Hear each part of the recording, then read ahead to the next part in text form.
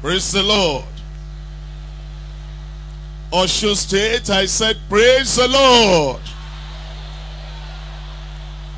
I welcome every one of you to the Bible study tonight in Jesus' name. It's a Bible study with a difference. With the power of God. With the supernatural. And the Lord is going to touch your life in Jesus' name. Please understand that we're going through a series in the Bible. And all the other Bible study locations are waiting. All over Nigeria, all over Africa, and beyond Africa. So you'll please uh, pardon us that we're speaking just in English only. Our Yoruba audience, they're already somewhere and the message is getting to them. And the Lord will bless every one of them in Jesus' name. Also, please understand, this passage of scripture is the next we're studying. And it just comes like this. And Osun State is having a great day today. Somebody there shout, Amen. The Lord will bless you. The Lord will bless me. I said the Lord will bless me. Something great will happen to you. Let's close our eyes for prayer. Father, in the name of Jesus, we thank you tonight. We bless your name for the Bible study. We're asking, Lord, tonight, you bless your people in Jesus' name. We pray that every word that comes out, every verse that comes out, will penetrate every heart, every life in Jesus' name. Let wonders follow the word. Let healing follow the word. Let deliverance follow the word. And let miracles attend to the message. Bless everyone here and bless everyone listening everywhere. Confirm the word in every life in Jesus' name. I thank you because I know you have answered. In Jesus' name we pray. Osun State can give me a greater amen. God bless you. You can sit down. We're coming to Jude chapter 1. And I'm reading from verse 22 all through to verse 25. 22, 23, 24, and 25. And on some have compassion, making a difference. And others save with fear, pulling them out of the fire. 18 even the garment spotted by the flesh now unto him that is able to do to keep you from falling and to present you faultless before the presence of his glory with exceeding joy to the only wise God our savior be glory and majesty and dominion and power both now and ever. Amen. As we look at those verses I've read to you, you see something very clearly. We're talking about God. We're talking about Jesus Christ as Savior. We're talking about the Holy Spirit. We're talking about what Christ can do in your life. And you look at verse 24. It says, Now unto him that is able. Tonight, our God is able. In your life, our God is able. Against your problem, our God is able. Against all the infirmities of your life, our God is able. You will see the ability and the authority and the anointing of the Lord tonight. It will roll away all your problems in Jesus' name. Now the verses I've read to you, they give us the conclusion of the whole episode. It's a very brief epistle and yet, look at this. It talks about God the Father. Talks about God the Son. Talks about God the Holy Spirit. I'm reading from verse 1, Jude, the servant of Jesus Christ and brother of James. To them that are sanctified by God the Father. He reveals God the Father to us. And then he goes on to say that we're preserved in Christ, in Jesus Christ, and called. As he talks about God the Creator. He talks about Christ the Redeemer. Look at verse 20. And he says, But ye beloved, building up yourselves in your most holy faith, praying in the Holy Ghost. It talks about the Holy Ghost, a comforter. The Father, the Creator, the Son, the Savior. And then the Holy Ghost, it talks about him, is a comforter. He will help you today. And the epistle reveals, number one, that we're saved. Number two, that we're sanctified. Number three, that we're infilled, indwelt, baptized, immersed in the Holy Ghost. Look at what he tells us in verse 3. Beloved, when I gave all diligence to write unto you of the common salvation of the salvation available to everyone. Salvation available to you. Salvation available to me. Salvation available to everyone here. It says i'm writing to you. I'm speaking to you. I'm preaching to you of that salvation common to everyone. It will get to you today. I said it will get to you today. As it talks about salvation, it talks about sanctification. Come back to verse 1. Jude, the servant of Jesus Christ, and brother of James, to them that are sanctified by God the Father. It tells us there's an experience called salvation. And then it tells us there's a second work of grace. That the grace of God comes to you. Not only that you are saved, that you are forgiven, it sets you apart. It makes you holy. It purifies you. It sanctifies you. And then he talks about the Holy Ghost. That it comes in your life. Number one, you are pardoned by the Lord. That's salvation. Number two, you're purified by the Lord. That's sanctification. And now he says, you can pray in the Holy Ghost. You're filled with the Spirit. You're saturated by the Spirit. You are immersed in the Spirit. You are baptized in the Spirit. And then you are not just praying with your understanding. Look at verse 20. It says, And ye, beloved, God will make you a beloved child of God. Building up yourselves on your most holy faith, praying in the Holy Ghost, interceding in the Holy Ghost. Then he talks about what we receive. The Father blessing us, the Son blessing us, and the Holy Ghost imparting life unto us. And he talks about the mercy and the peace, as well as the love. Come to verse 2. It says, in verse 2, I'm reading Jude, verse 2. It says, mercy unto you. The mercy of God will come to you. The mercy that forgives. The mercy that transforms life and the mercy that changes negative things and positive in your life. It says mercy is coming. Somebody is a candidate for the mercy of God tonight. What are you there? It says in verse 2, mercy and peace. He gives us peace when he pardons us. The sinner has no peace. There is no peace for the wicked, says the Lord. But here we come. And we come to the Lord and the blood of Jesus Christ, his only begotten son, cleanses us, washes us. And because of that, all sins taken away.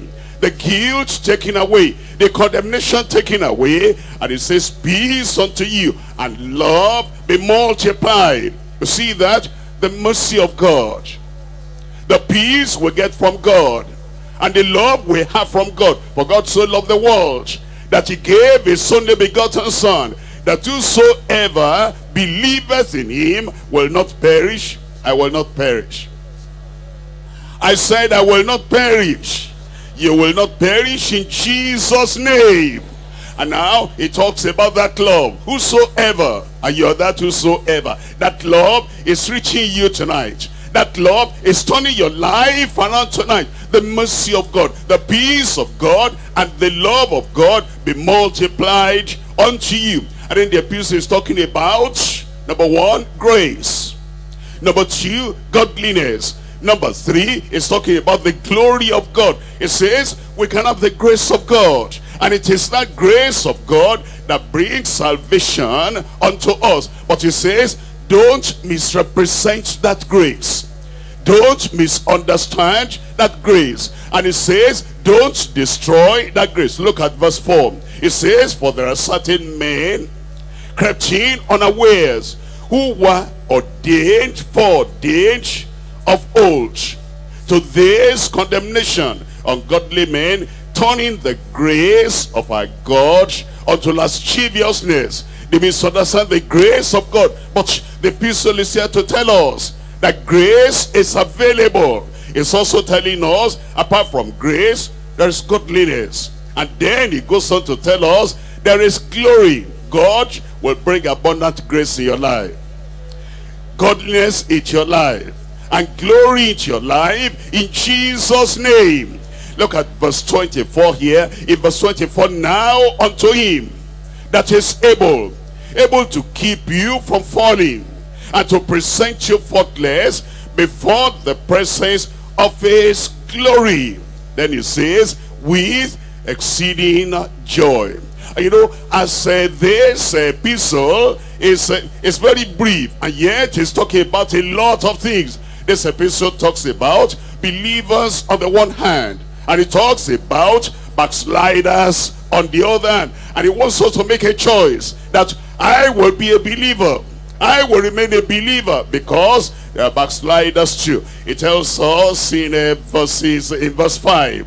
It says, I will therefore put ye in remembrance, though ye first knew this, how that the Lord having saved the people. Those are believers. When you are saved, you become a believer. When your sins are forgiven, you become a believer. When you have eternal life, you become a believer. And he says, I want to remind you that he saved the people. And when they became born again, they became beloved. Look at verse 3, the first word there, beloved. Look at verse 17, talking about the believers in verse 17. But beloved, remember, it tells us there are believers. Then it says there are backsliders. I'm coming back to verse 5. How that the Lord, having saved the people out of the land of Egypt, afterwards destroyed them that believed not. Those people, they believed for a while. After, after that, then they went back. They believed not. And they perished in the wilderness. I will not perish. Somebody there say, I will not perish. You believe on the Lord. You become a beloved child of God. A beloved son of God. A beloved daughter of God. And then you keep on and on and on. If ye continue in my word, then are ye my disciples indeed. And because there are sinners, and because there are backsliders, the piece is talking about judgment. It says there is judgment to come. And it tells us in verses 6 and 7. Look at verse 6. And the angels which kept not their first estate, but they left their own habitation. He has reserved in everlasting chains under darkness unto the judgment of that great day. It says judgment is coming. And if you want to escape judgment, that's why it says, I'm writing to you of the common salvation, of the salvation available for you, of the salvation you can have today, and the salvation can keep to the very end, because a day of judgment is coming. Look at verse 14. And Enoch also, the servant from Adam, prophesied of this saying, Behold, the Lord cometh with ten thousands of his saints to execute judgment upon all. A day of judgment is coming. Who are the people that will be judged? Jude tells us they're rebels and reprobates. So the epistle is talking about believers, those who are righteous, believers, those who are redeemed, believers, those who are reconciled with God, believers, those who are restored into the grace of God. It's also talking about the rebels and the reprobates. Look at verse 10. It says, But these speak evil of those things which they know not. But what they know naturally as brute beasts, in those things they corrupt themselves. Woe unto them! For they have gone in the way of Cain, reprobates, rebels, and they have run greedily after the error of Balaam for reward. Reprobates, rebels, and they have perished in the gainsaying, in the opposition, in the rebellion, and in the conspiracy of Korah. It talks about those who are ungodly, those who are unfaithful, and those who are unfruitful. He's talking about all this so that you will know. Look at those people. Judgment came upon them. Look at those people. The fire of God came upon them and burnt them up. And he wants you to come to the side of mercy and to the side of peace and to the side of love. That's why he's talking about all these people. I said he spoke about the unfaithful and the ungodly and the unfruitful. I want you to look at uh, verse uh, 12. As you look at verse 12, it says, These are spots in your feast of charity. It says, they feast with you, when they feast with you, feeding themselves without fear. Clouds they are without water. What a tragedy. Carried about with winds, trees, whose fruits withereth, without fruit, twice dead, plucked up by the roots, raging waves of the sea, foaming out their own shame. Wandering stars they are. And it says, to whom is reserved the blackness of darkness forever. Look at verse 15. To execute judgment upon all and to convince all that are ungodly among them of all the ungodly deeds which they have ungodly committed and of all their hard speeches which ungodly sinners have spoken against him. But now he talks about our steadfastness. He talks about our supplication. And he talks about our spirituality. He says, I've shown you all this so that you'll come out from among them. And Jude is telling us, you can be steadfast. You are going to be steadfast. I said you are going to be steadfast. Jude is telling us you can make supplication to God. You can pray unto God. And all those negative things of the past, it will roll them away in Jesus' name. And then he says, you can become spiritual. Look at verse 17. Our steadfastness. But, beloved, remember ye the words which were spoken before of the apostles of our Lord Jesus Christ. Remember those words and be firm. Remember those words and remain with the Lord. Remember those words and live an uncompromising life. And then he talks about our supplication and prayer in verse 20. But ye beloved, building up yourselves on your most holy faith, praying, making supplication, praying, pleading with the Lord, praying, praying uh, in the Holy Ghost. And then he talks about our spirituality in verse 21. Keep yourselves in the love of God, looking for the mercy of our Lord Jesus Christ unto eternal life. And now he's talking about a soul winning. A soul winning. That is, you become a believer. You will do something that will bring other people into the kingdom. It says on Psalm verse 22, have compassion, making a difference. On some, have compassion. Have compassion those who are perishing in sin.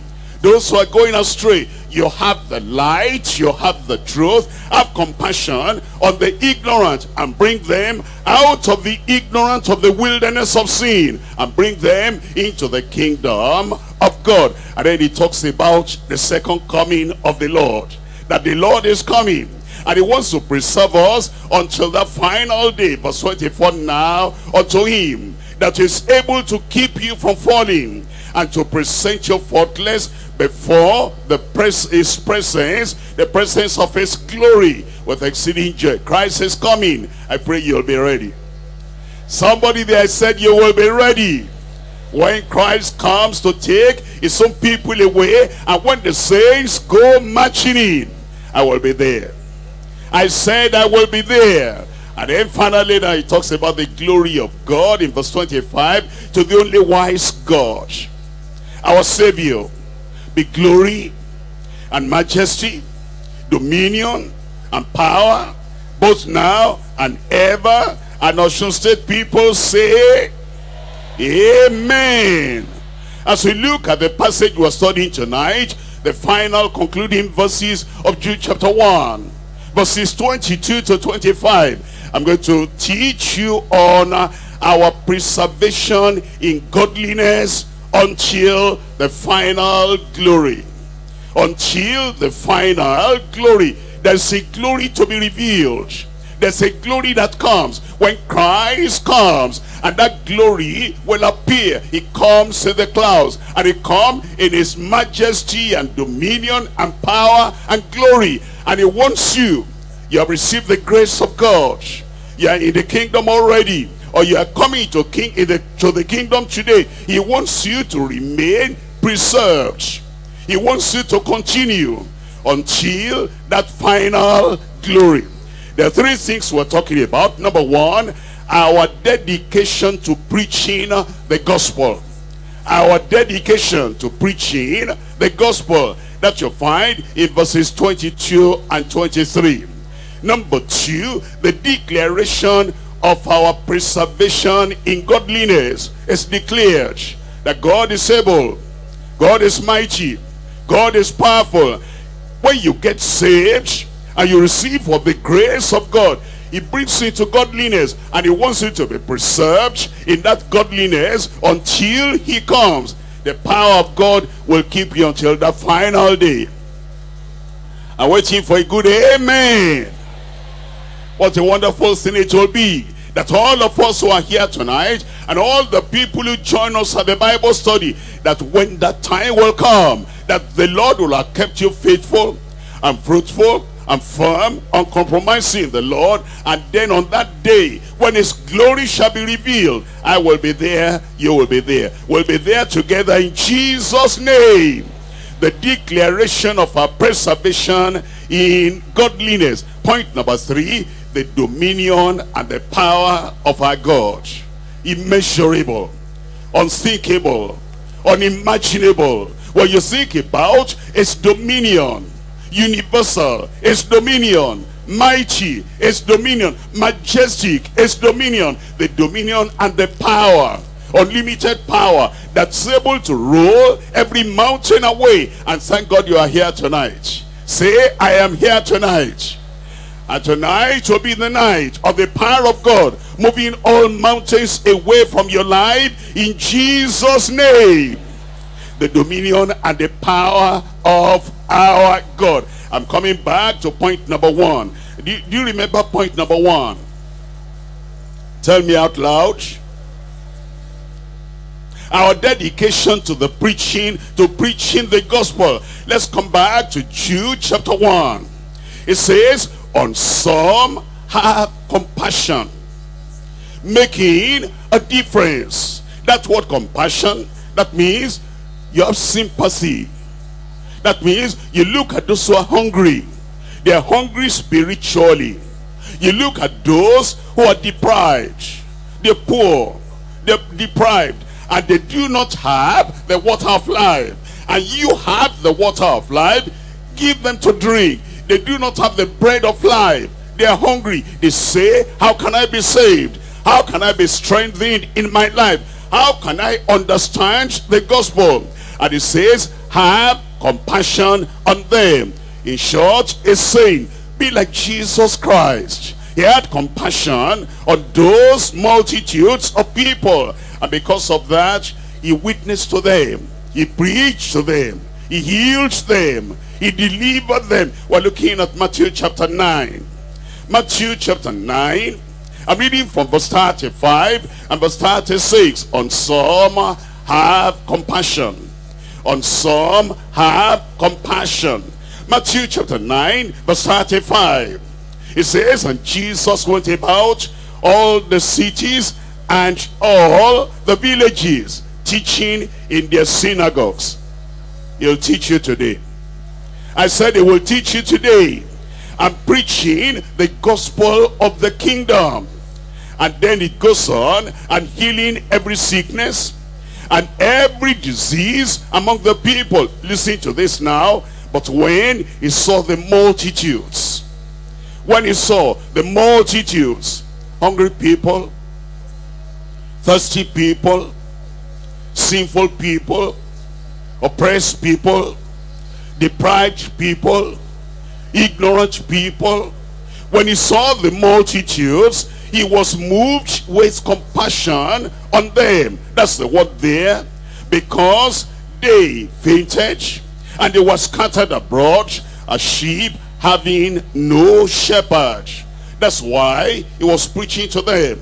That's why it was touching their lives. That's why it's bringing the word to you tonight. Because he has compassion on you. Have compassion on them. You know, if you have the gospel, if you have the truth, and you hold it yourself, you say, I'm a believer. Thank God you are.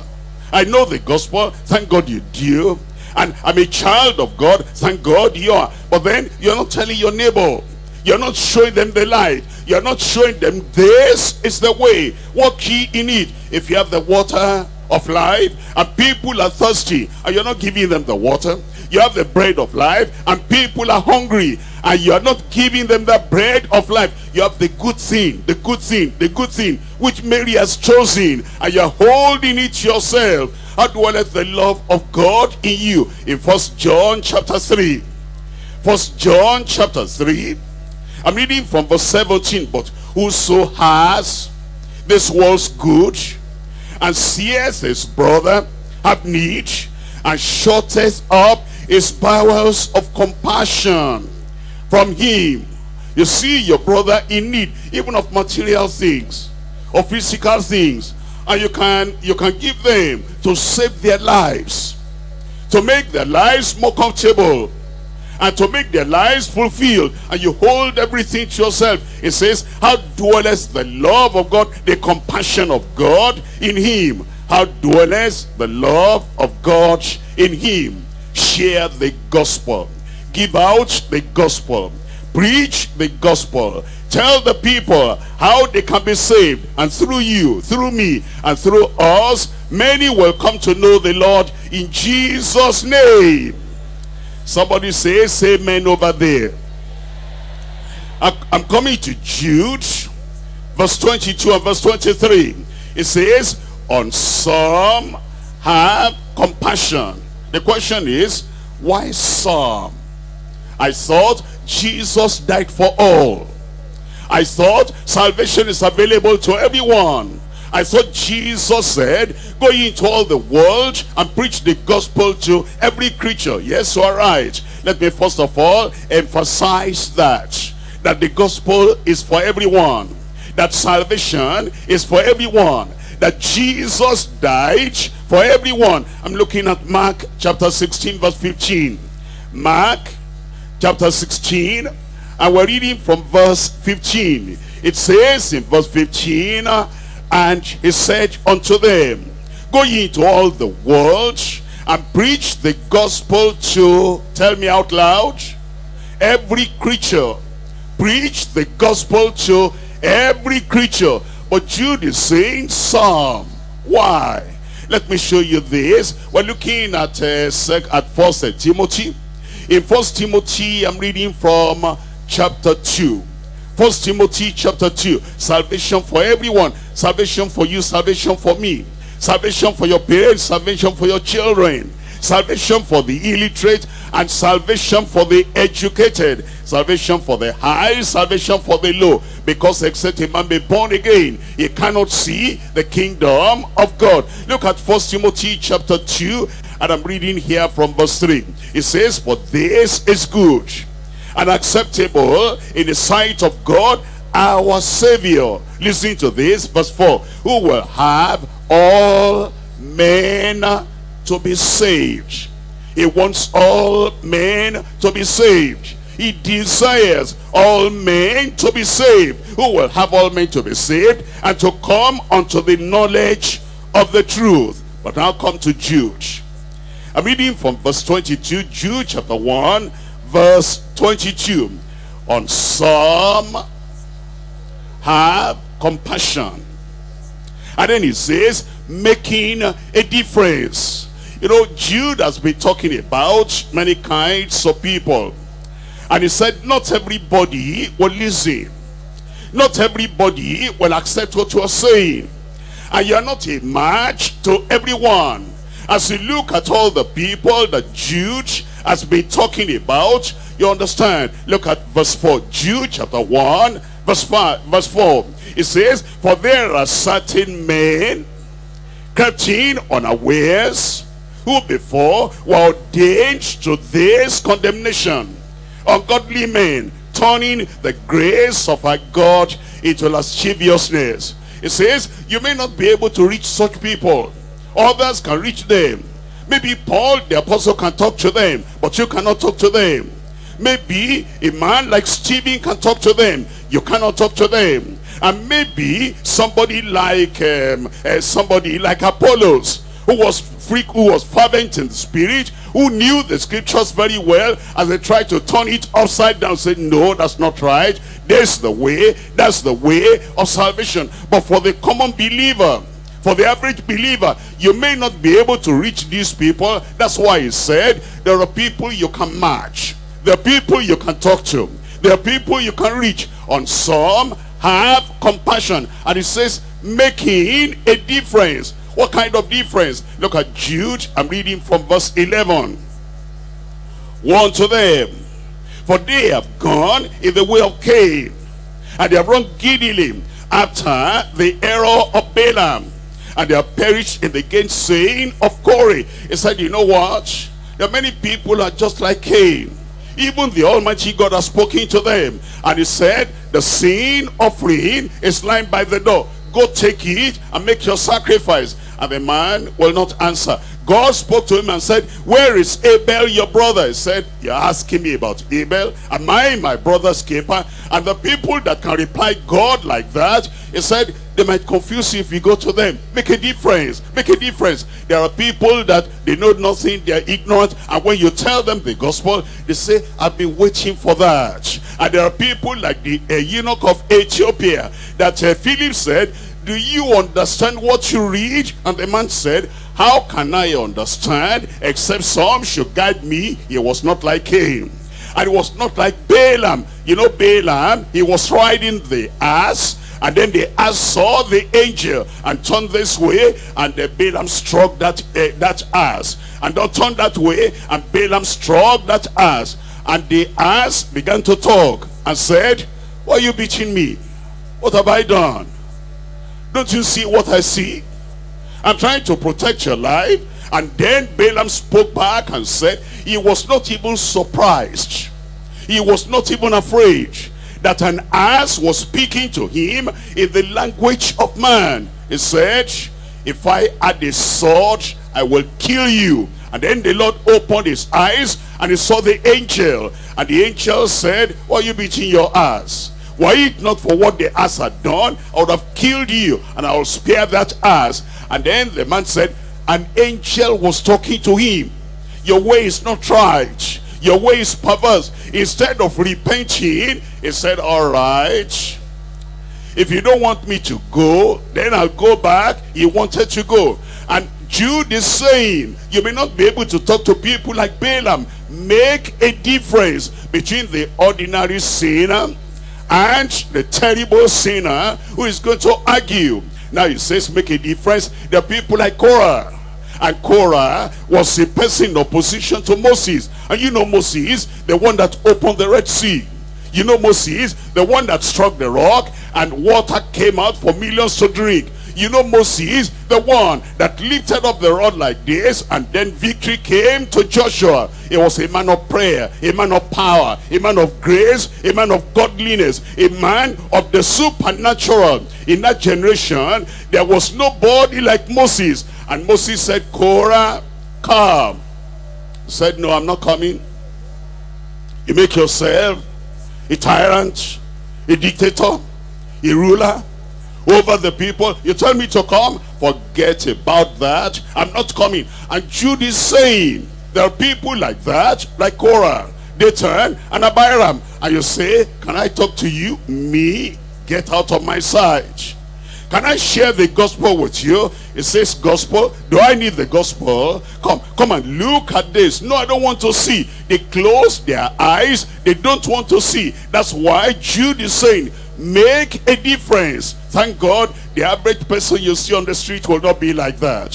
Thank God the people you, you uh, confront, well, many of them will not be like that. But make a difference if you're trying to share the gospel. And somebody is arguing and he wants to confuse you and he wants to destroy even the faith you have. Then he says make a difference. Go to the people you can talk to. There's so many people you can talk to and leave that Cain alone and leave that Balaam alone. And leave that Korah alone. We're coming back now. I'm coming back to Jude chapter 1 and I'm looking at verse 23 it says others save with fear.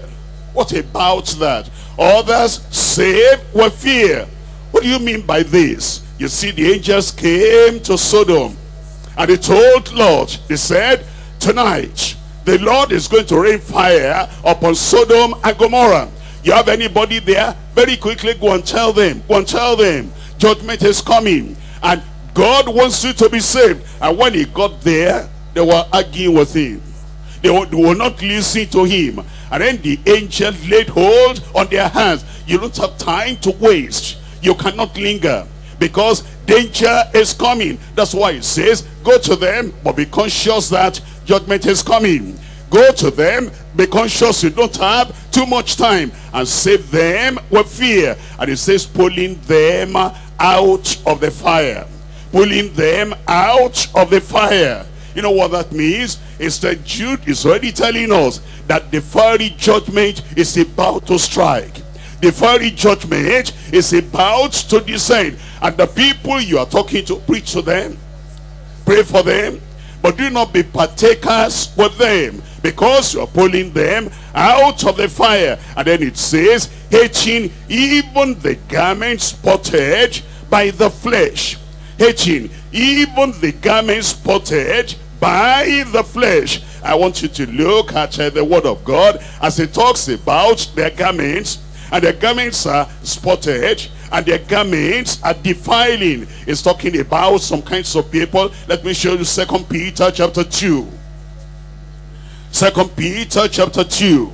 I'm reading here from verse 14. Having eyes full of adultery that cannot cease from sin, beguiling, deceiving, cajoling, turning aside unstable souls, and hearts they have exercised with covetous practices. Because the children it says when you meet people like that? You want to win them into the light. They want to get you into darkness. You want to win them to righteousness and holiness. And then they're behaving in a particular way. They want to get you into adultery into fornication and into defilement into evil. It says leave them alone. They are not ready. They are not ready you're trying to help them and pull them out of the well out of the dungeon. And they are trying to pull you down into that same well of destruction. That's why it says yes evangelize.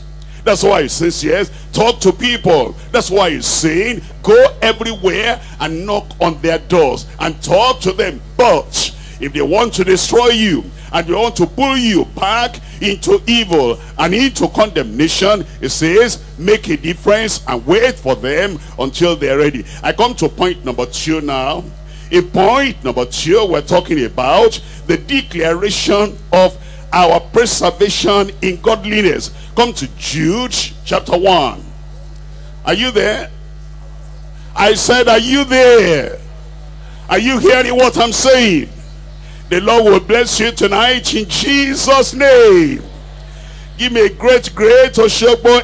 Amen. I'm looking at Jude chapter 1 verse 24. It says now. Everybody say now. Your blessing is about to descend. Your blessing is about to come. And now it says, now unto him. Unto him that is able. Able to keep you from falling. He will keep you in Jesus' name. And to protect and to present you faultless before the presence of his glory with exceeding joy. It's talking about our preservation there. There's, there's a few things I want to look at here before I go to the concluding verse. Number one, him that is able. Think about that. Him that is able. Number two, able to keep you from falling. As you come to the Lord, maybe you think you are not strong. I cannot hold up. I cannot go on resisting all the trials and the temptations. How will I stand? This God we're talking about as you get saved. And if you are saved already, the Lord will keep you from falling. I thought somebody there will say amen. And then he says, number three, and to present you faultless. And to present you faultless. Then he goes on, before the presence of his glory. And then he tells us, with exceeding joy. Your life will become joyful. Your life will become happy. Give me a good amen. Let's look at them one by one. I'm looking at verse 24. Now unto him that is able. My God is able. I said my God is able. There's no mountain he cannot move.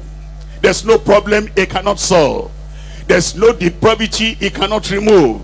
There is no sinner he cannot save. And there is no one he cannot satisfy because our God is, tell me, tell me out loud, our God is able tonight. He will show that ability in your life in Jesus' name. Look at uh, Romans chapter 4. I'm reading from verse 21. Romans chapter 4 verse 21. And being fully persuaded that what he has promised is able to perform. Our God is able. As he promised to save, is able. As he promised to heal, is able. As he promised to deliver, is able. As he promised to break every yoke in your life, is able. As he promised to keep you from falling until the final day, our God is able. I'm looking at Ephesians chapter 3. Ephesians chapter 3. And I'm reading to you from verse 20. Our God is, tell me. Our God is, tell me out loud. Look at Ephesians chapter 3 verse 20. Now unto him that is able to do exceeding abundantly. Above all that we ask or think, according to the power that worketh in us. That power is working here today is able to roll all your problems away, he will do it in Jesus' name. We're looking at Hebrews, Hebrews chapter 2. In Hebrews chapter 2, we're reading from verse 18. Our God is able now unto him that is able. In Hebrews chapter 2, verse 18. For in that he himself has suffered being tempted, he is able to succor them, sustain them, support them, hold them up. Is able to succor them that are tempted. When temptation comes to you, remember our God is able. Our Redeemer is able. Our Savior is able. Our Deliverer is able. Hebrews chapter 7. I'm reading from verse 25.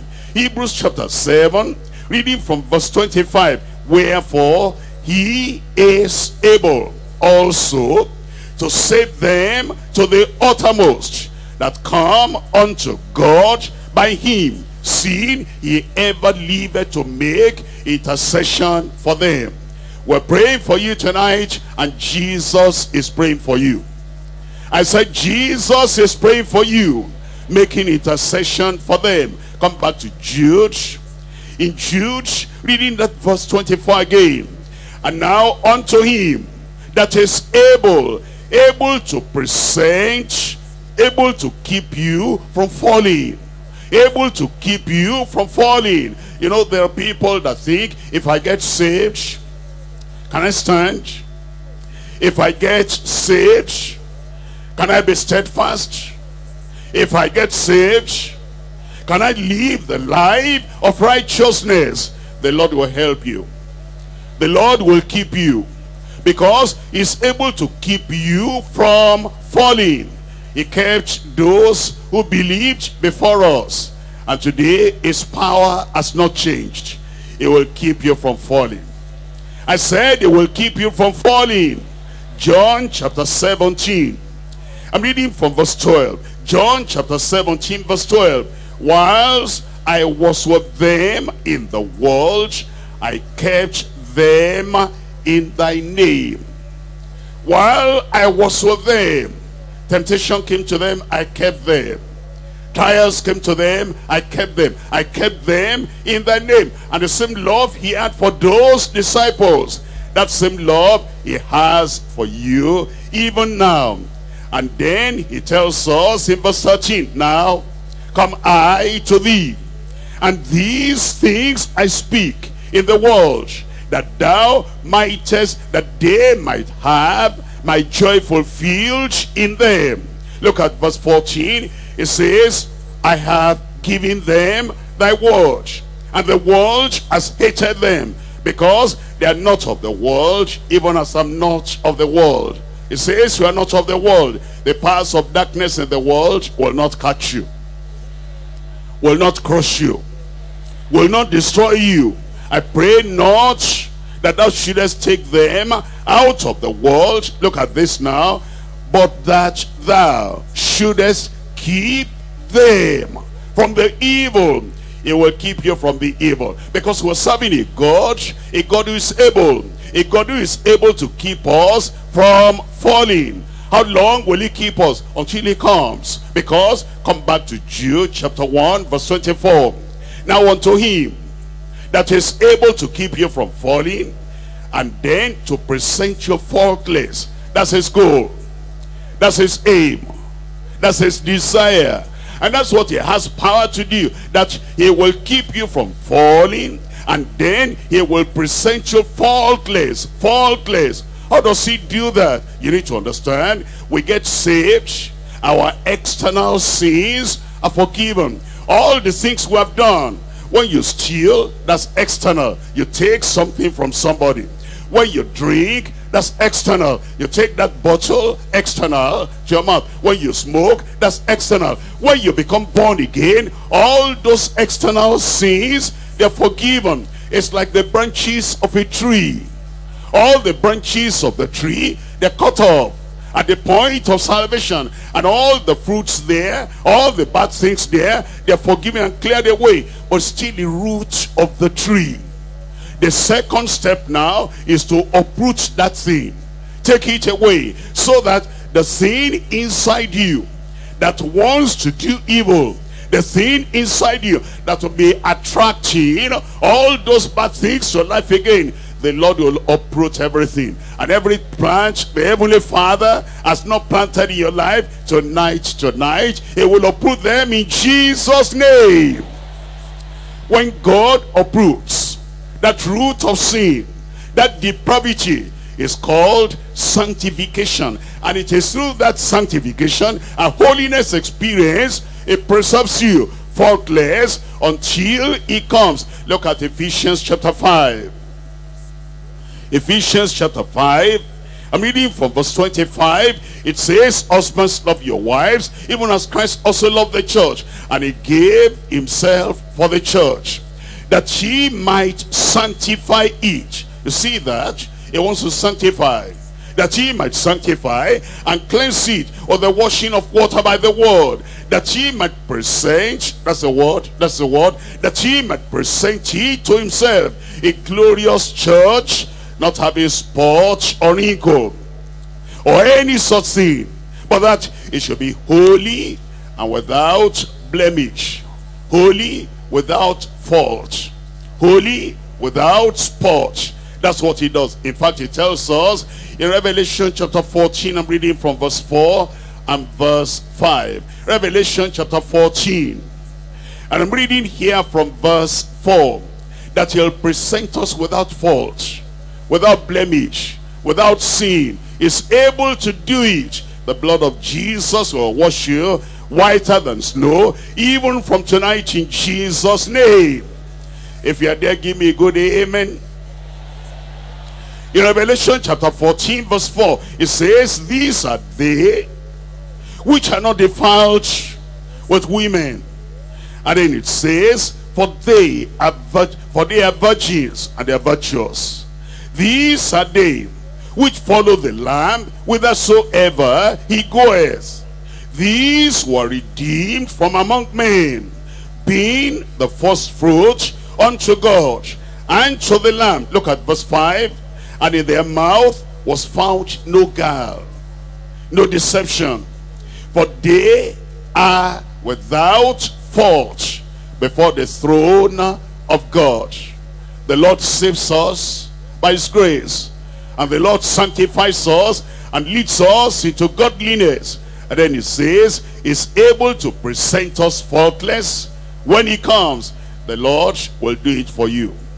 And then it says in that Jude chapter 1 verse 24, it says, before the presence of his glory, before the presence of his glory, we're waiting for him, we're expecting him. And when he comes, what glory that will be. And then Paul the apostle tells us in Second Timothy chapter 4. 2 Timothy chapter 4. Here I'm reading from verse 18. What the Lord did for Paul, he'll do for you today.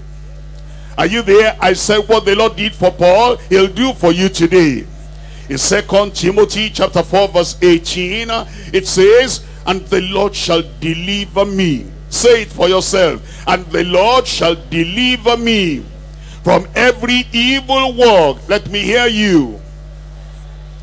And will preserve me unto his heavenly kingdom to whom be glory forever and ever amen and then he tells us when that happens there'll be exceedingly great joy great joy your life will be a joy your family will experience that joy your victory will bring that joy it tells us in first peter chapter 3 chapter 4 First Peter chapter 4, and I'm reading from verse 13.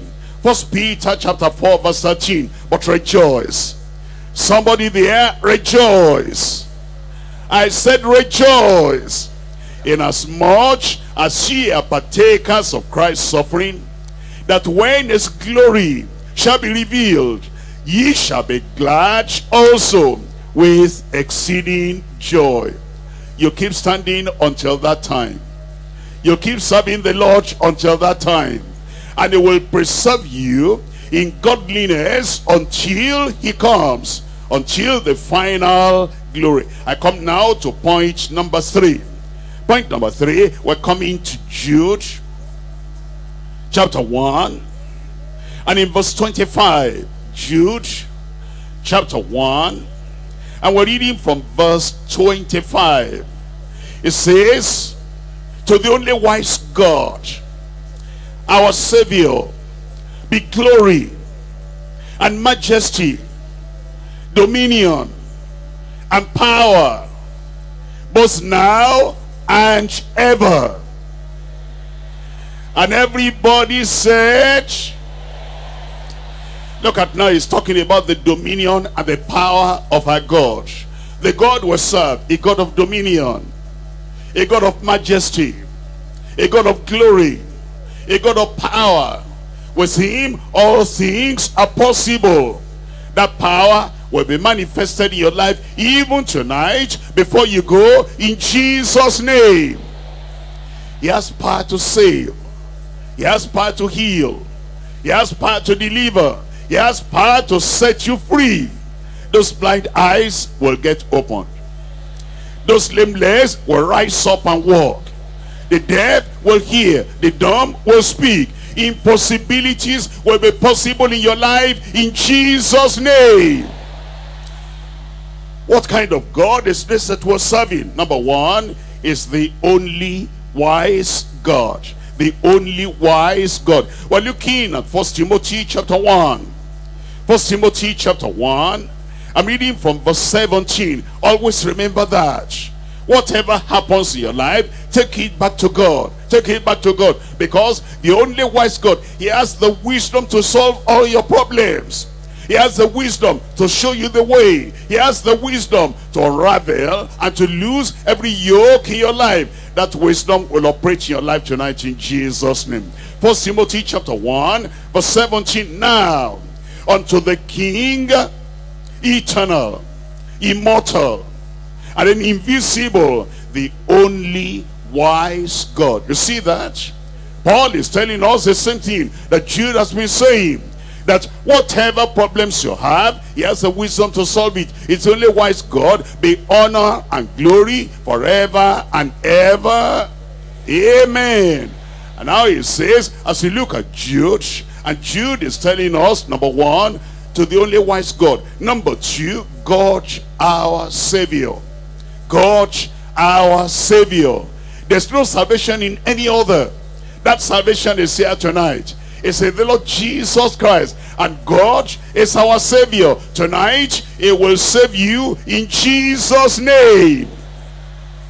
First Timothy chapter 2. In First Timothy chapter 2, God our Savior, God our Redeemer, God the one that takes us out of the pit of sin and it brings us to the palace of the king. We're looking at First Timothy chapter 2 and verse 3. But this is good and acceptable in the sight of God our Savior. God our Savior. He forgives. He cleanses. He washes our sins away. And he says, it is good in his sight. Because it's God, our Savior, who will have all men to be saved. Thank God, salvation, salvation is for you tonight. Forgiveness is for you tonight.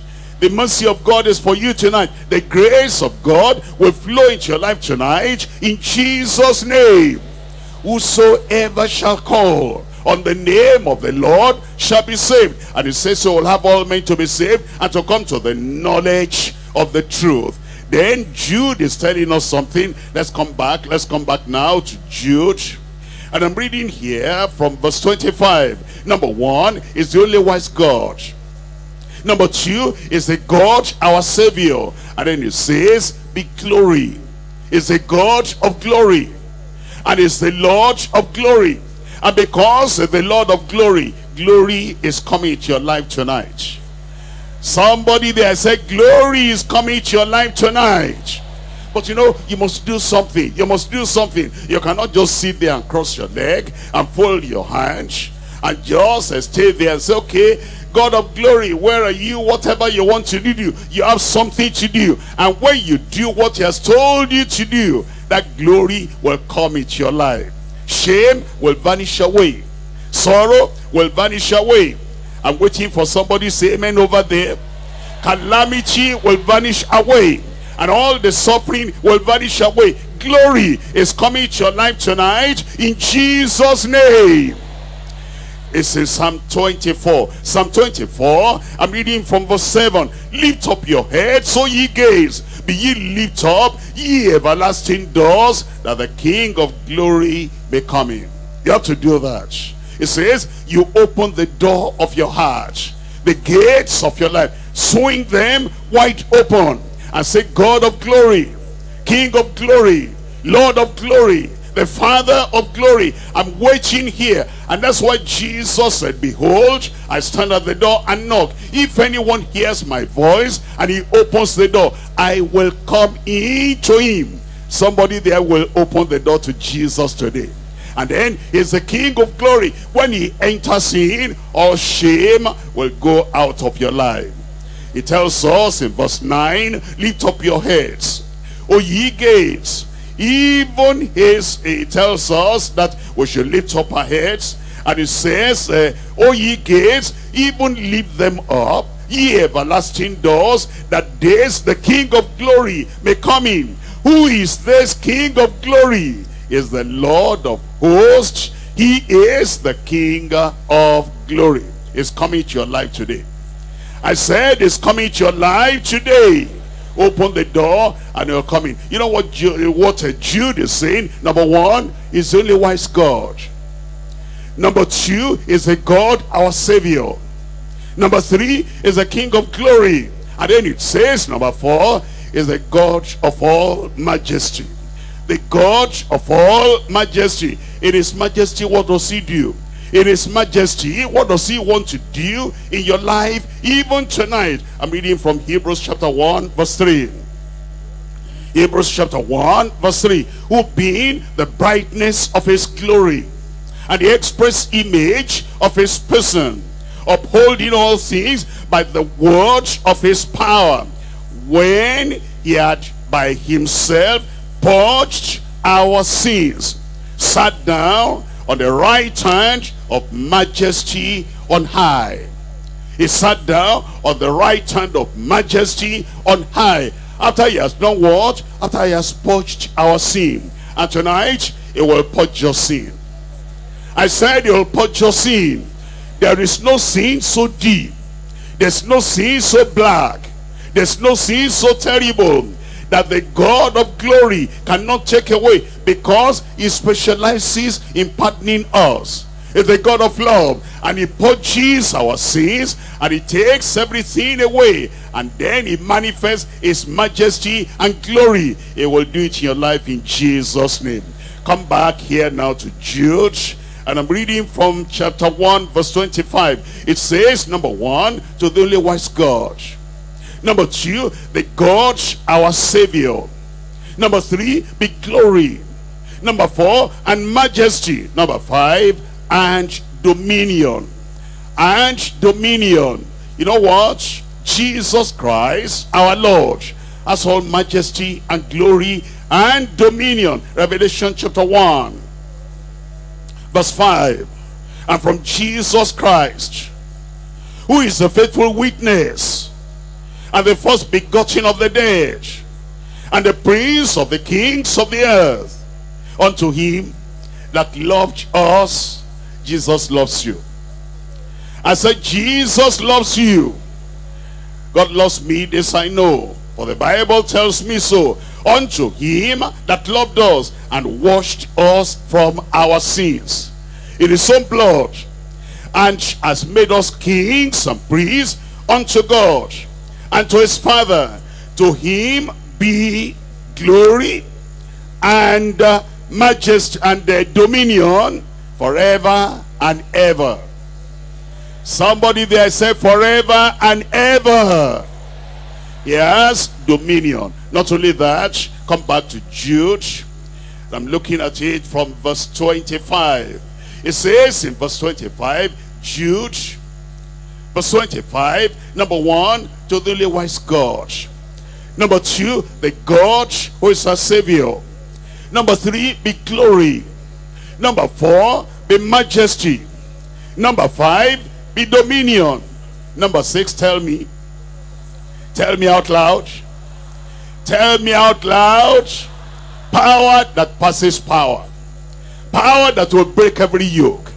Power that will destroy the works of the devil power that roll that will roll all your mountains away tonight there is power are you there i said are you there? And that power will work in your life in jesus name. We're looking at ephesians chapter 3 ephesians chapter 3 and i'm reading from verse 20 now unto him that's able to do exceeding abundantly above all that we ask or think according to the power that worketh in us. That power will work in your soul, will work in your spirit, will work in your body, will work in your family, will work in your profession, will work in everything surrounding you tonight in Jesus' name. That power will roll your bodies away. That power will cleanse your sins away. That power will heal your sickness tonight. That power will take care of every problem in your life tonight in Jesus name. That power is now is coming your way. I said it's coming your way he will save you. He will heal you. He will deliver you. Tonight is the night that power will walk in your life in Jesus name. I'm coming back to Jude verse 25 Jude verse 25 here it tells us to the only wise God the God who is our Savior, be glory and majesty and dominion and power. Tell me the rest. Both now and ever. Both now, tonight. I said now, tonight. I said now, tonight. You will manifest that power. Now and tomorrow and next week and next month and for the rest of your life forever and ever that power will never stop in your life tonight something great is going to start in your life and then that thing will continue. And remember it says now and ever. Now and ever. Everybody say that now and ever. Tell me out loud now and ever. Salvation now and ever. I said redemption now and ever. I said my healing now and forever. Deliverance now and ever. The supply of all your needs now and ever is going to happen. I said it's going to happen. Philippians chapter 4. Philippians chapter 4. I'm reading from verse 19. Uh, but my God shall supply all your need according to his riches in glory by Christ Jesus. I thought somebody there will say amen. I'll give you another chance. But my God shall supply all your need according to his riches in glory by Christ Jesus. Verse 20, now unto God and our Father be glory forever and ever. Amen. That amen will be fulfilled in your life.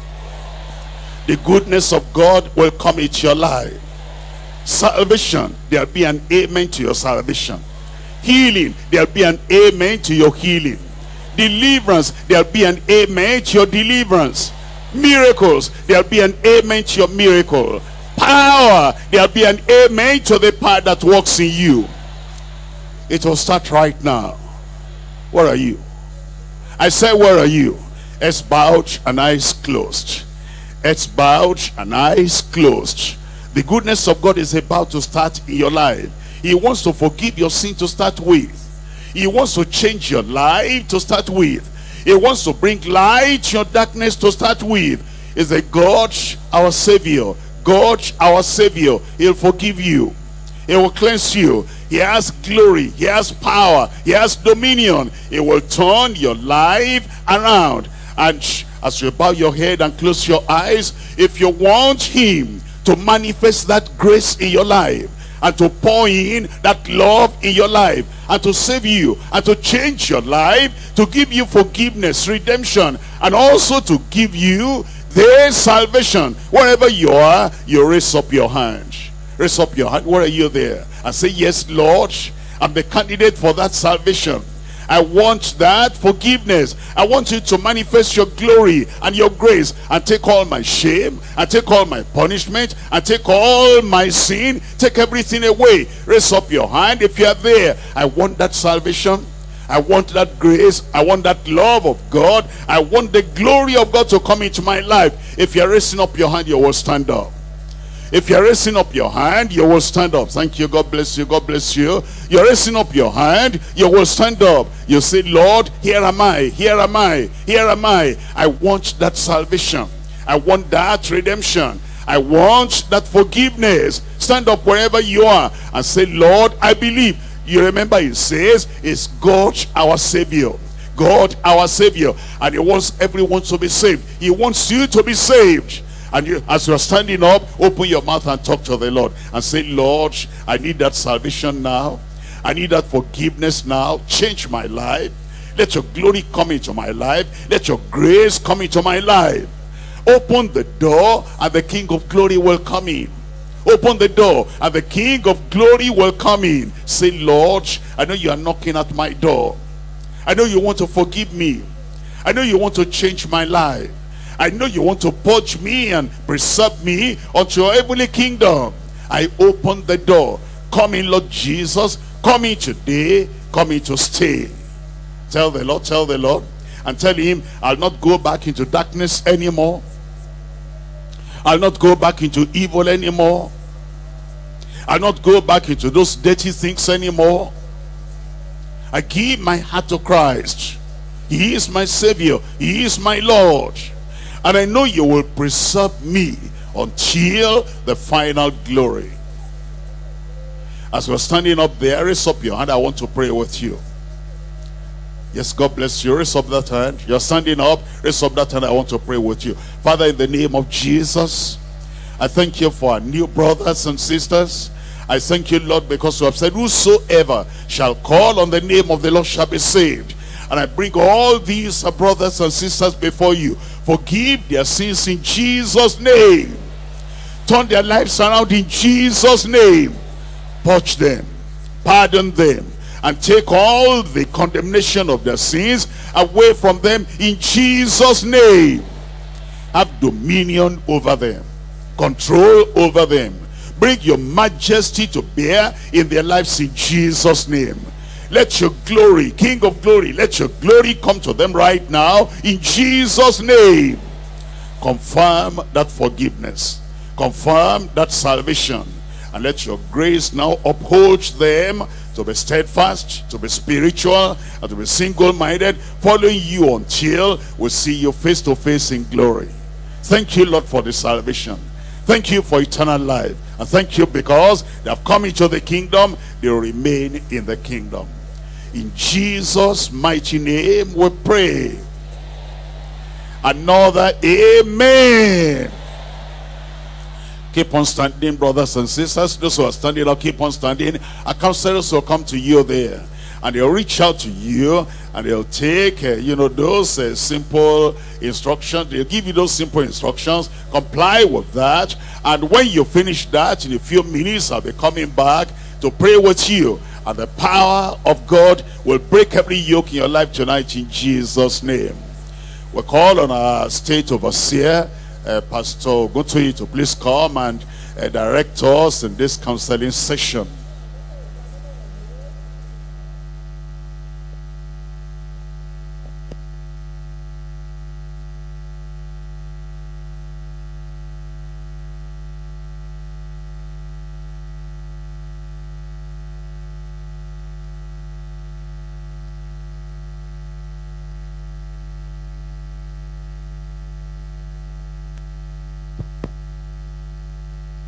I rejoice with you because you have come into the kingdom of God. The paper in your hand, fill it properly. Write your name if you can write. If you cannot write, the counselors will assist you. Give us the correct address. The name you are known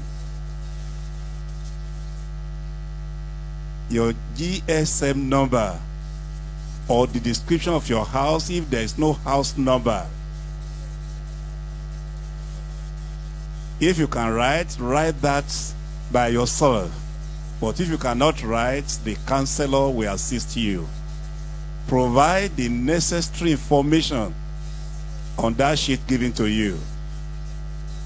It will help us to assist you to grow, to know the Lord the more,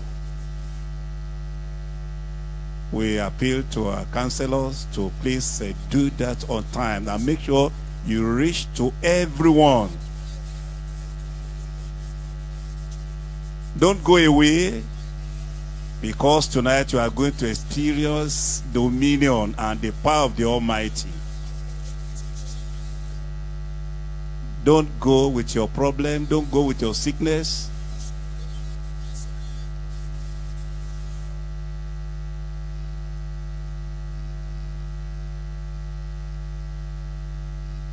Counselor, you have to do that very quickly. Our overseers, group pastors, please help us to supervise as we have demarcated the pavilions into various uh, regions and so on. Let's move in there and get things done on time.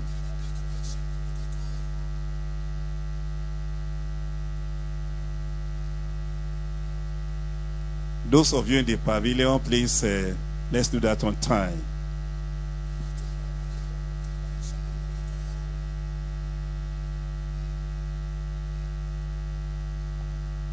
Don't go away. Receive your miracle before you go.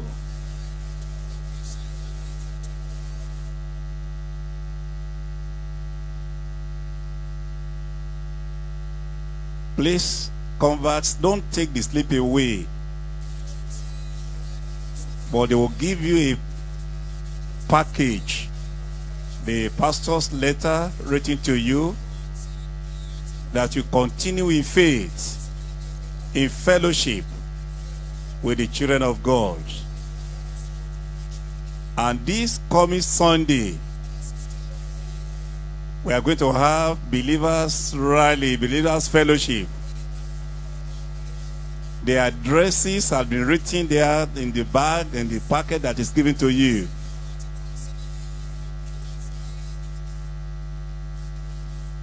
Time is 2 p.m. and 3 p.m. in some regions. So check the one that is appropriate to you and attend so that we can help you.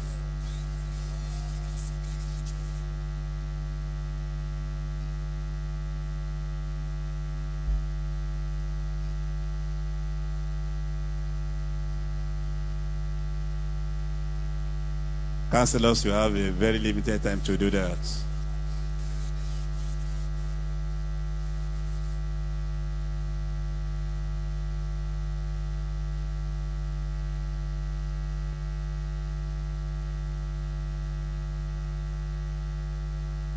Don't go away until you get another touch from the Lord. You have got the first touch, the second touch is coming, which is your miracle. You have got the touch of salvation, sanctification. Now, the next touch is touch from above to touch your life, touch your sin, touch your sickness. Unto him that is able, unto him that is able, wait for him Wait for the power to be demonstrated in your life. Counselors, please uh, do that on time. Our Father and the Lord is waiting for us.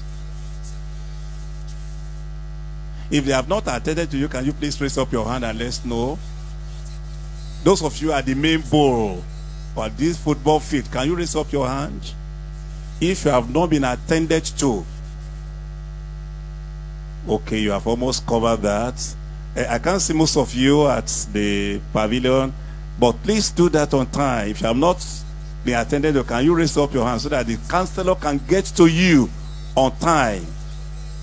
Don't take the sleep away. The information on the sleep will help us to help you how to continue in the Christian race and your newfound faith in Christ Jesus. In the language section, please do that. Egede people, Igbo, Yoruba. In those language sections, please do that on time. Behind the pulpit chair, those of you are there, please uh, attend to them. Those are the car park. Please, counselors, get there.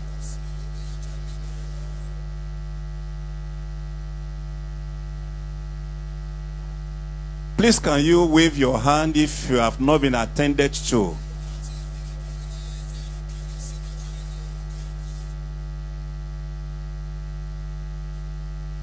Please round off what you are doing now. But stay there. Don't come. Uh, counselors, remain where you are. After the pastor's uh, miracle prayer, you bring the people that know have uh, testimonies and so that they can share their testimony with the people of God before they go tonight. Stay where you are. Don't come back. Stay exactly where you are. Uh, those are the pavilion. You will help them because the entrance is by the, uh, I mean, this uh, VIP side.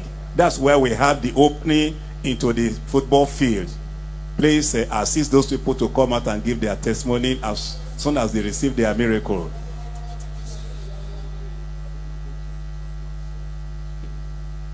Please Return the slave to the counselor. I said, don't take it away. Return the slave. And counselors, don't forget to collect the slave back from them.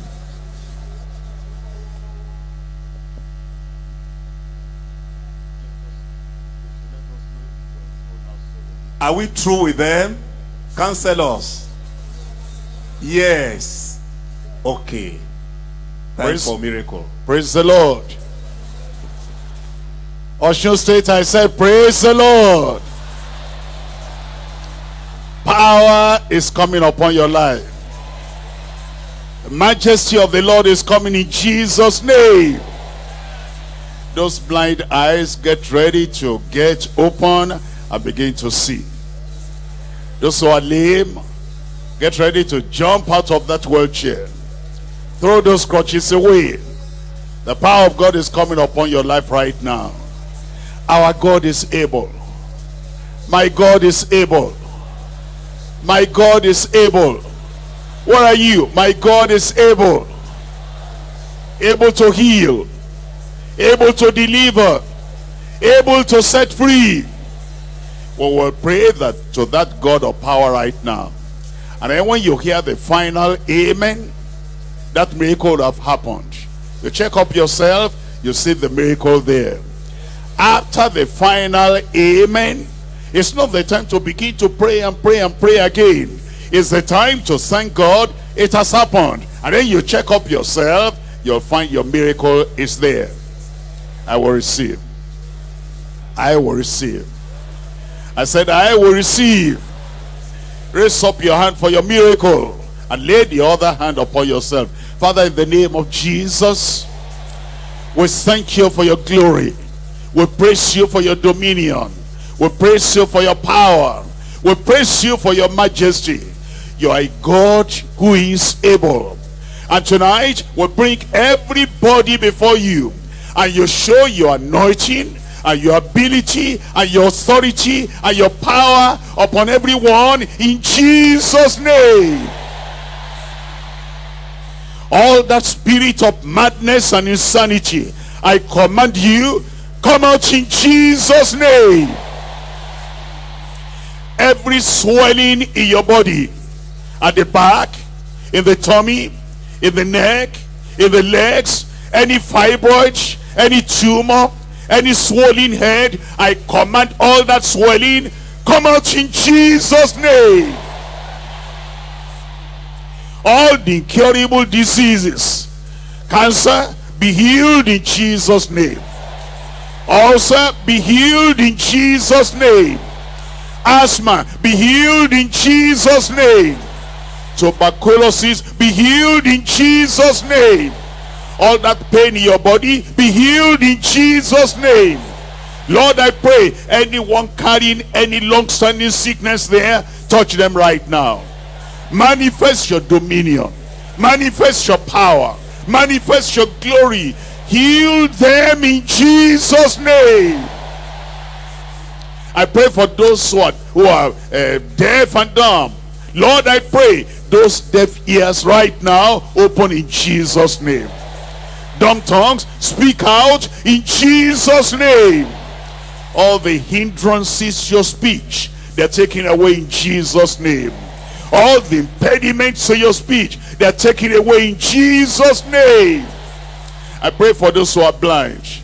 Glaucoma, I command you, come out in Jesus' name. Cataract, I command you, come out in Jesus' name.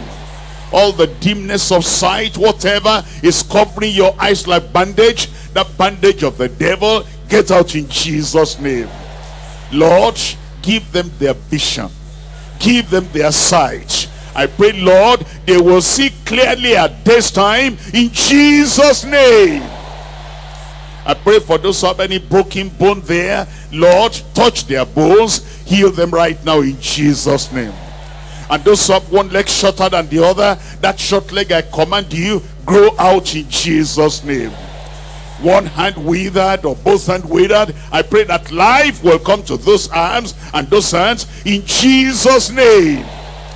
Those who have stroke, Lord, touch them at the very center of that stroke that they will rise up and they will walk normally hands will be all right feet will be all right and they'll stand erect without any support in jesus name i pray lord for those who are paralyzed or lame in any way whatever is the cause of that lameness or paralysis take it away in jesus name Let your power come into them. Let your anointing break every yoke. Rise up and walk in Jesus' name. Lord, I pray that everyone here will receive their miracle. Nobody will miss their miracle in Jesus' name. To the right, to the left, to the center, to the back. Perform your miracle upon everyone in Jesus' name. God of all power, manifest your power. God of all glory, manifest your glory. God of majesty and dominion, manifest your dominion, your majesty in Jesus' name. Confirm your power in everyone. We know that you have done it. There'll be shout of hallelujah. There'll be shout of miracle.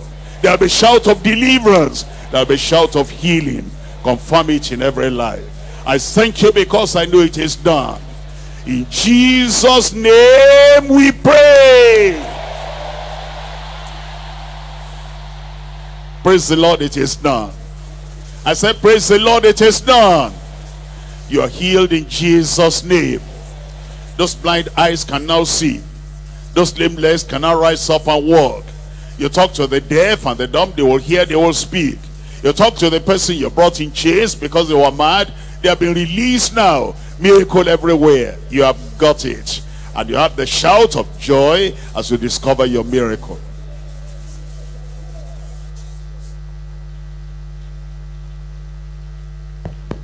It is done. The miracle is there. Check up, check up. Counselors, assist them. Check up as soon as you see the miracle done. Just come out. Our overseers, group coordinators, uh, our leaders go into their midst and uh, I mean come out to help them and uh, interview them. Please bring them out from the pavilion, from the main bowl here, from the right, from the left. Bring them out so that they can testify of the power of God. You are living here as somebody that have dominion tonight. You have got your dominion. Come out. The miracle is there. Don't cover the goodness of the Lord. It's happening there. It's happening right, left, center there. Are you there? Our overseers, uh, please uh, help them as they bring them out. Interview them. Make sure that you properly interview them. Come out, come out, come out and testify. The Lord has done it. The Lord has done it. He has touched you. Check up there. The miracle is there. The miracle is there. Because God has demonstrated his power in your life tonight. Come out, come out and testify. It is done. It is done. It is done. It is evidence that tonight God has touched you. Bring them out. Bring the lame that is walking. The one that cannot see, the now that can see. Bring them out. Yes, over there. There's a shout of joy. At my right hand there. Over there. Yes. Come out, come out and testify. We are waiting for you. Check it up, check it up, check it up. The Lord has done it. God has visited you. Don't hurriedly go home. Come out, come out and testify. Please uh, start your interview them. Bring them out. Bring them out from the pavilion, from the maple, from outside the stadium, everywhere that the miracle has happened. Please bring them out. We are waiting for you. We are waiting for you. People are waiting to hear your the, the goodness of the Lord towards you tonight. It is done. It is done.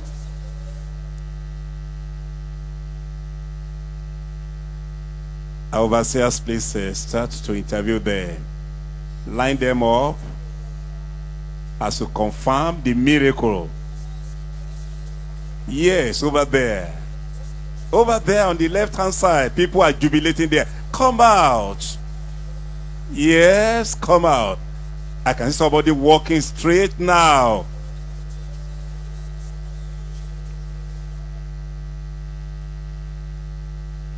There's shout of joy over there. Yes.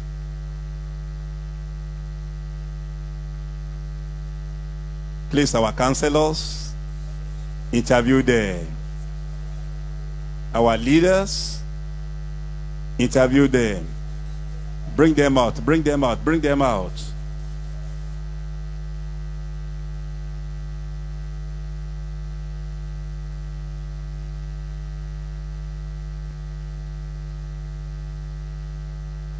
The first testifier, please. We are waiting for the first testifier.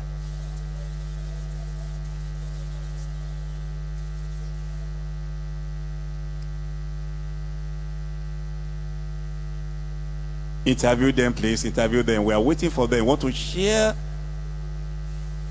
the joy with them.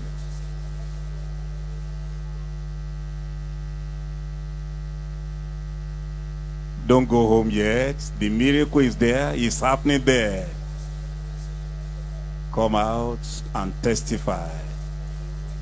We are waiting to listen to your testimony. I can somebody there walking. Yes. Come out and testify. The Lord has touched you. The Lord has touched you.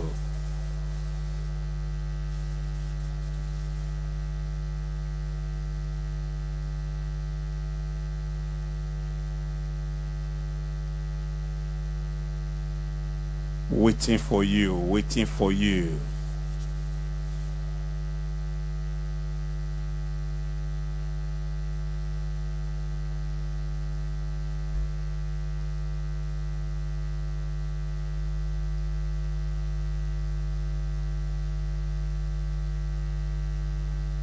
Please uh, interview them. We are waiting for the moderator, please, to come up and uh, prepare himself. We want to take the first testimony.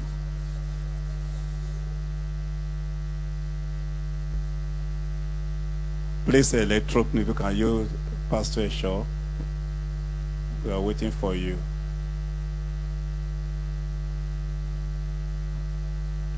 Bring them out. Don't go home without testifying of the miracle of God that has wrought in your life tonight.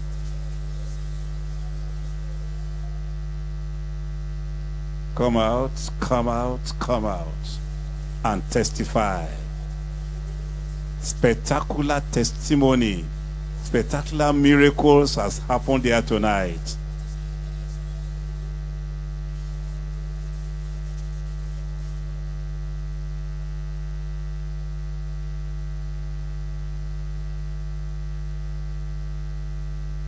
God of miracle, God of power has touched you.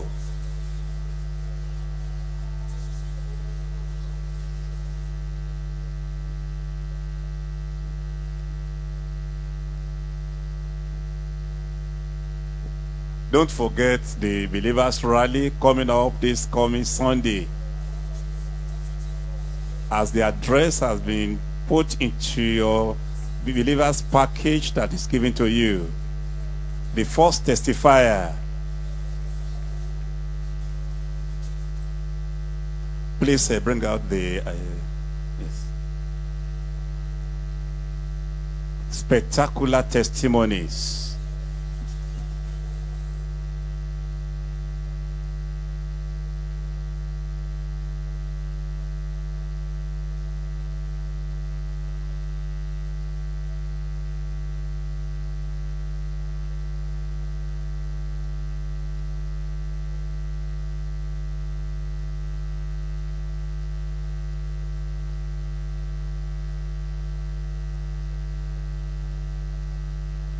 Bring them out, bring them out so that they can testify.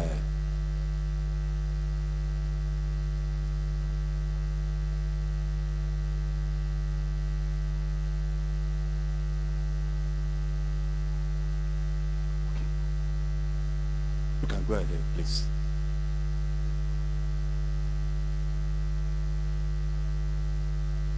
Give her the mic.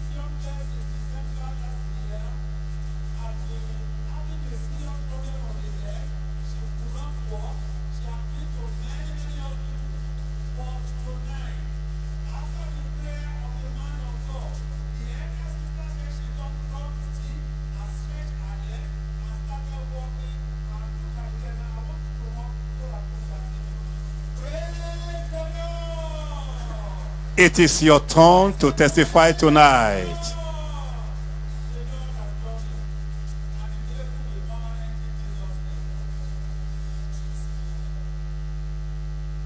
Another testifier, please. We are waiting for you. Another testifier. Spectacular miracles. Spectacular miracles. It has happened there. Check up before you go. Testify to the glory of the Lord. And let us rejoice with you.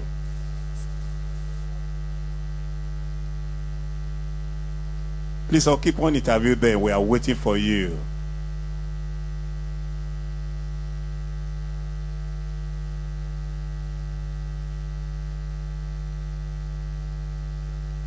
Pastors interview them thoroughly and make sure that they give you the right information.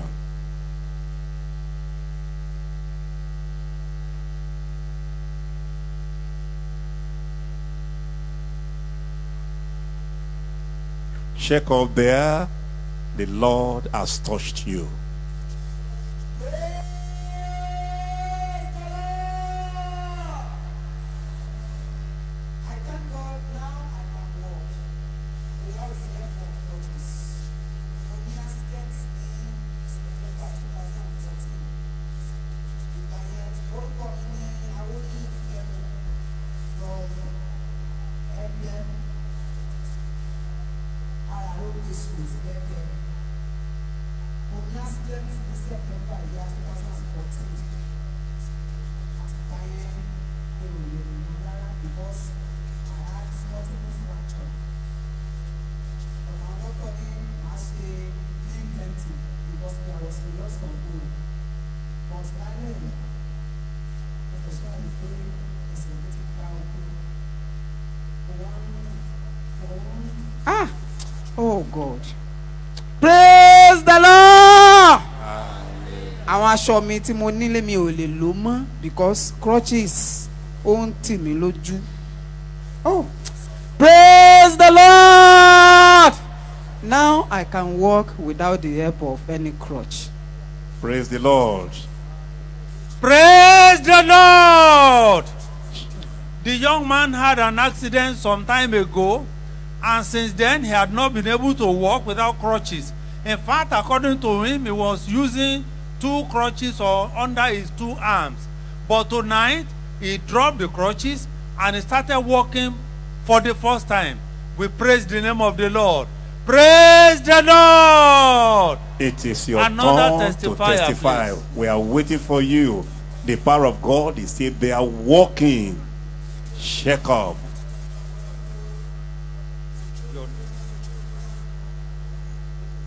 More testifiers. Praise the lord. Mo dúpẹ́ ní ọwọ́ ọlọ́run. Níyì olùdarí ní orúkọ mi. Láti ya two thousand and ten november ni mo ti ní accident. So since then i'm unable to walk without the stick. Ṣùgbọ́n láti ìgbà yẹn mi lè rìn. Láìsí bí a pé mò ń kó igi sí abíyá. Ṣùgbọ́n mo dúpẹ́ fún ọlọ́run ní àṣálẹ̀. Ní abẹ́ iṣẹ́ ìránṣẹ́ bàbá mi wf kúmúyì mo dúpẹ́ pé mo gba ìwòsàn yìí ní pípé tí mo dẹ̀ gbàgbọ́ pé mi ní padà sí ẹni tí ó ń logi mọ́ ní orúkọ jésù So shall it be in Jesus' name. amen. Praise the Lord. This is another man who received the supernatural tou- touch of God. The two crutches with which he used to walk, you can see him holding the two crutches with his two hands now. The Lord has done it for him, and he will do it for you also in Jesus' name. Another testifier, please. Don't forget, the believers rally is coming up on Sunday 14th by 2 p.m. and 3 p.m. on Sunday 14th by 2 p.m. and 3 p.m. in our regions.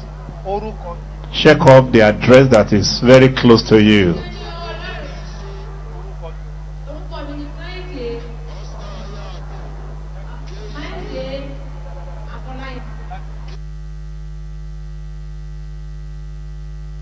Láti ìlú ìlà odò lọ́pọ̀lọpọ̀. Ó sáà dúpẹ́ lọ́wọ́ ọlọ́run pé bá a ṣe pray báyìí ogun yẹn ṣẹ́. Ibi báyìí àti bí yìí. Tó ọlọ́run sáà gba àkóso. Gbogbo nǹkan tó ti ti tó ti dùn lóyún ti pẹ́ yẹn. Ọlọ́run sáà jẹ́ kó wá sí oṣàn. More testifiers, please. Ńgbà tó ń dùn yín kílẹ̀ lè fi ṣe. mi lè fi jẹ lè jíjẹ nǹkan tó di ṣe tó lágbára jù ẹ lọ mi lè ṣiṣẹ́ mi lè fi ṣiṣẹ́ bí iṣẹ́ tí mo ń ẹ́ mo lè yí báyìí ṣùgbọ́n mi mo lè yí náà bẹ̀ tí mo kàn yí pẹ̀lú agbára ni bẹ́ẹ̀ sà. Praise the Lord. The woman had stiff neck as a result of uh, some uh, sickness, a kind of illness. But right now, after the prayer of the man of God, you can see her, she can move the neck, and according to her, she was not even able to eat properly. Now, she can eat, she can feel no pain in the neck, and we praise the name of the Lord for that. Praise the Lord! The next Another testifier. testifier, please. Check up. The power of God is still working. It's at work. We are waiting for you to testify to the goodness of the Lord.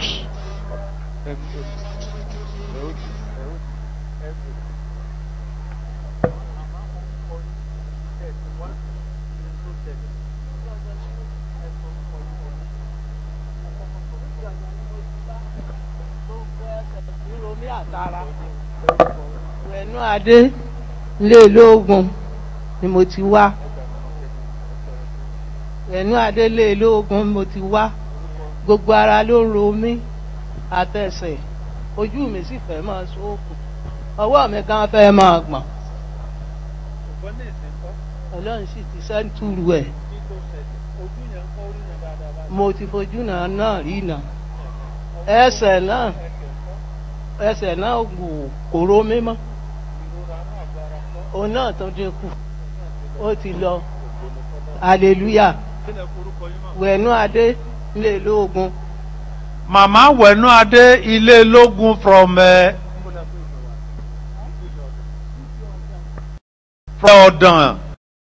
In the name of the Lord, because general pains all over the body, the Lord has removed.